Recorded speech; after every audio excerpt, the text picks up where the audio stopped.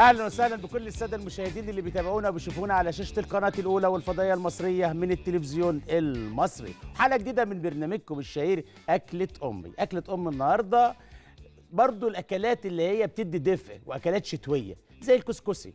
كسكسي بالخضار هنعمله بشوربة لحمة وشوربة فراخ مع تشكيلة من الخضار من خير أرضنا. بتشمل برتقال وليمون وكوسة وبتنجان وقرع عسل وجنزبيل فريش وطازة.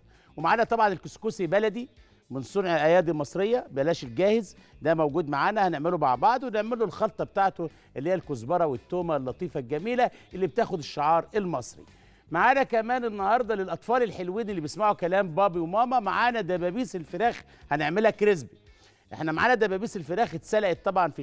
في آه، حليب ومية مع توابل وجهزناها وحضرناها علشان نعملها النهارده crispy بطريقة سهلة وبسيطة. تخش كل أم تعملها بطريقة كده لطيفة وتقدر تعملها spicy أو غير spicy حسب رغبة ولادها.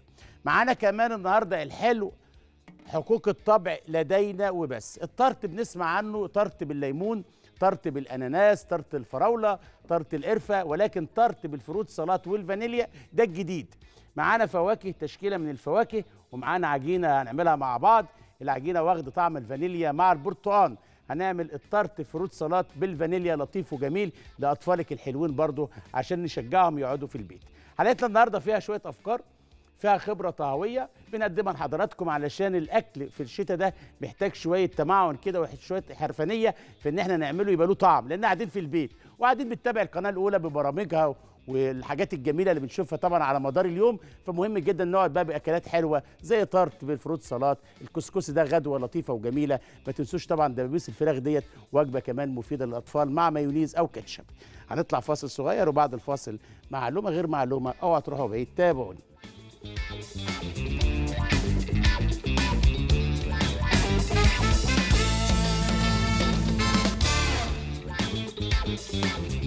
ورجعنا لحضراتكم بعد الفاصل. محلك سرك يا أبو الشيف دايما يقولوا لي بعد الفاصل هتبدأ بيه يا شيف. فهنا لازم نحط خريطة قدامنا. آه بتخش المطبخ لازم تحط لك هدف plan تمشي عليه. عندنا كسكسي هياخد وقت كبير من السوا. عندنا عجينة هنعملها tart بال fruit salad برضه هتاخد وقت كتير من السوا. هنعمل دبابيس الفراخ هنعملها crispy. فاحنا اختصرنا الوقت وسلقناها ثلاث أرباع سوا وجهزناها بتبرد معانا. إحنا عايزين بس نشوف الدنيا ماشية إزاي.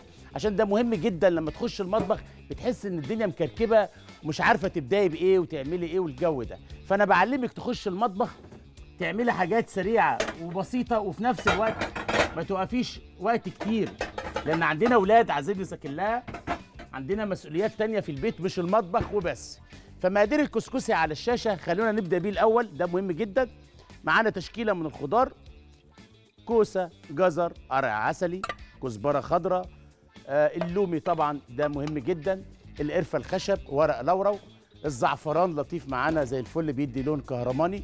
وما ننساش الكزبرة الخضراء.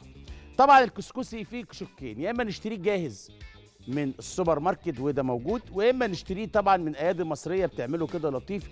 الستات الطيبة مع الجبنة القديمة اللي بيبيعوها والبيض والحاجات الحلوة. تعالوا نعمله مع بعض سريعا كده على النار بطريقتي الخاصة اللي هي هتساعد إن هو يستوي بسرعة. معانا طاسة على النار كبيرة شوية عشان تاخد كمية الخضار. ومعانا حلة الكسكسي اللي هي عبارة عن دورين. حلو الكلام. المصفى ودي موجودة. كانت زمان دي مش موجودة معانا كان موجود معانا فخارة كده بيتعمل لها عجينة من الدقيق والملح ونعمل الأطراف ونقفلها كويسة كده ونجيب الذكر البط أو البطاية الحلوة والوزة وده الشغل بتاع الأمهات بقى بتاع زمان. ولغاية لما تستوي طبعا والكسكسي يستوي هنا في الآخر بنفك العجينة ونقدمه. فإحنا دلوقتي في تحديث للموضوع بطريقة سهلة وبسيطة تقدري تعملي الكسكسي مرة في الأسبوع مفيش أي مشاكل. هنبدأ إن إحنا نشوح الخضار على النار. نعمله بالزيت ولا بالسمنة؟ حسب الرغبة. الشتاء ده عايز الأكل يكون دسم شوية. فخلينا نستخدم معلقة سمنة بلدي كده لتشويح الخضار. آه زي الفل. وبنحط فص مستكه يا عم الشيف. على السمنة دي كده عشان يبقى الخضار بتاع الكسكسي فيه طعم. لأن إحنا الكسكسي ده النهارده هنقدم معاه الخضار وفي نفس الوقت يلعب دور الشوربة. أنتوا عارفين الشتاء طبعا بيحب الإيه؟ الشوربة. النهارده وأنا جاي حبايبي وإخواتي طبعا داخل مسبيرو المبنى العظيم العريق. فطبعا بيشوفوني كل يوم صباح الخير يا شيف هتأكلني إيه النهارده؟ هتعمل لنا إيه النهارده؟ طبعا يعني اللي هو اللي إيه الجو الحلو ده كده. فأنا قالوا لي لازم كلهم النهارده عدس. ليه يا اخوانا قال لك النهارده الجو عايز عدس. فخلونا بما إن النهارده فعلا عايز عدس بس العدس يكون تقيل شوية. وصفة كده سريعة وأنا شغال. نص كيلو من العدس يتغسل مرة واتنين لغاية لما نتخلص من أي شوائب فيه. بعد كده نجيب طماطميتين خمس ست فصوص توم. حلو الكلام. ومعانا كمان بصلاية متقطعة مفرومة ناعمة زي اللي استخدمتها دلوقتي. الخضار لازم يكون كبير كده بتاع الكسكسي على فكرة عشان تبقى شخصيته مع الكسكسي واضحة. ونحط العدس مع الطماطم مع الثوم مع البصل مع جزراية متقطعة مكعبات صغيرة. كل ده في قلب الحلة يستوي. حلو الكلام؟ ده تشكيلة من الخضار بالشكل ده كده.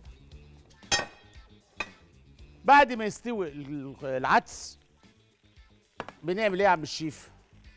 بنضربه في قلب الخلاط ونجهزه على جنب. كده العدس قوامه تقيل قوي. أنا بحبه تقيل كده. بنجيب تومة فصين من التوم مفرومين ناعم معلقه سمنة بلدي حلوة محترمة. ونحمر التومة في السمنة البلدي مع شوية كزبرة. ونسقط العدس عليهم ياخد الطشة اللطيفة الحلوة وياخد غلوة. نبدأ نقدم معاه بصل أخضر من خير أرضنا. البصل ده لطيف مع العدس بتاعنا. والخبز البلدي المتحمص. بلاش الخبز طبعا الشام الرفيع ده والرقيق ده ده مش كويس مع العدس. استخدمي طبعا أفضل حاجة الخبز البلدي. الليمونة دي أنا قطعتها والبرتقانة دي موجودة معايا.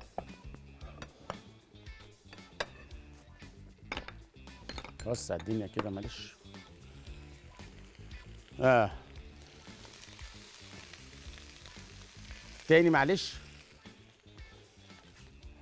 نقلب دول مع بعض. إيه يا أستاذة رحاب؟ السؤال إيه؟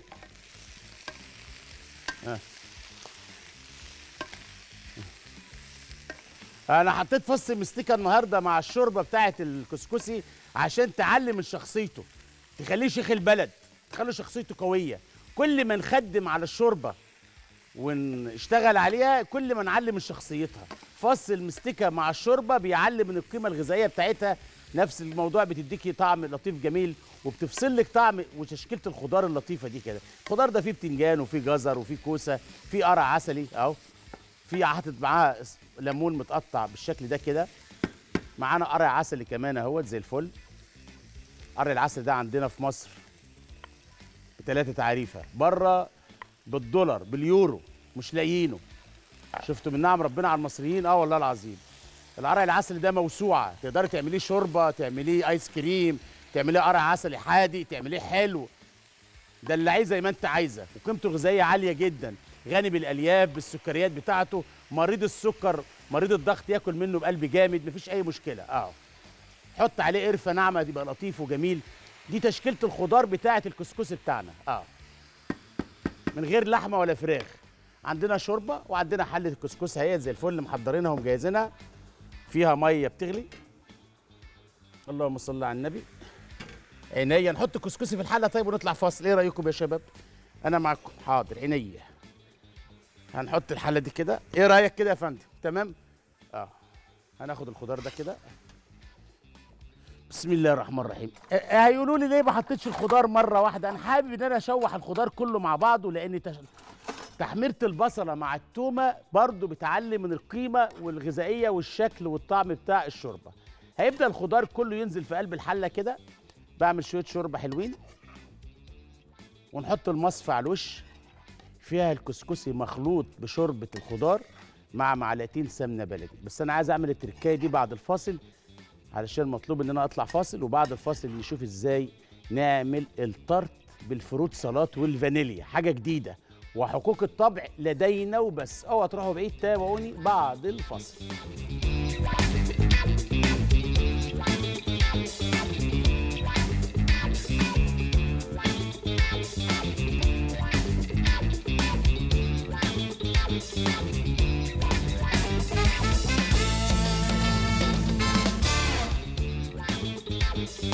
ورجعنا لحضراتكم بعد الفاصل وكسكسي بالخضار والقرع العسلي مع المستكة. تشتغل عليه حلو كده عشان الشوط الشوربة دول مهمين جدا. مدرسة الكسكسي بتختلف بقى من بيت لبيت من آه، أم لأم الست الطيبة. ولكن خلونا أنا أجتهد وأقدر أعمله زي حضراتكم كده يعني طبعا حضراتكم شطار فيه قوي. فأنا معايا الكسكسي طبعا طازة زي ده كده. هعمل شوية. أهو. تسلم الإيد اللي عملته. ده طبعا شارينه كده خلوا بالكم يعني وده تقدر تشتريه موجود عادي. الستات الطيبة في الريف بيعملوه حلو قوي أهو. دول كفاية. هنحط عليهم شوية شوربة وشوية سمنة بلدي. بصوا بقى إحنا ورانا وقت ما وراناش وقت. أنا أحب أعمل الشغلة كده إيه على أصولها. أدي الطاسة. بحط في الطاسة دي شوية سمنة كده حلوين. لازم الكسكسي ده يتشرب من السمنة دي كده. ومعانا الشوربة اللي بتغلي على النار. أخبارها إيه؟ أهي. الحواوشي حاضر. نعمل الحواوشي. عملت إيه شيف التركية ديت؟ أنا حطيت معلقة سمنة بلدي.